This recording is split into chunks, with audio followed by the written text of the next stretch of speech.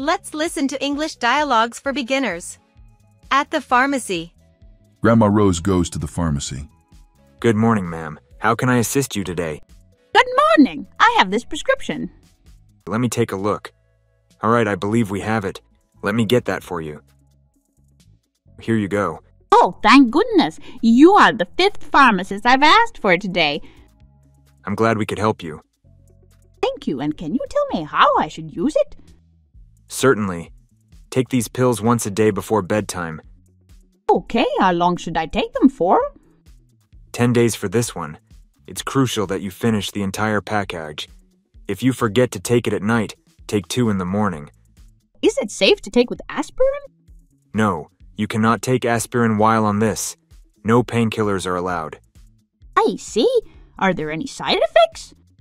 Rare but possible side effects included drowsiness, dizziness, blurred vision, upset stomach, nausea, nervousness, constipation. It's recommended to avoid physically demanding activities after taking this, and definitely no driving. Oh, now I understand why I should take it before bedtime. Exactly. Sort of thing. My grandchild has a runny nose and a cough. What do you recommend? I'm sorry to hear about your grandchild. For a runny nose, I'd suggest a gentle nasal saline spray. It helps clear those little nostrils.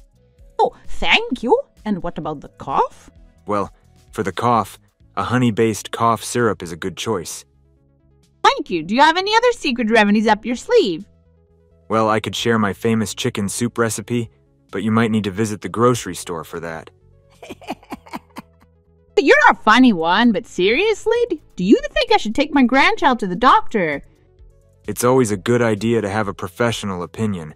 If the symptoms persist, a visit to the doctor is a must. You're right. Better safe than sorry. All right then. Can I pay with my card? Sure, that will be $24. Is there anything else I can help you with? No, that would be all. Thank you. You're welcome. Here's your receipt. Have a good day. You too. Hit the like button.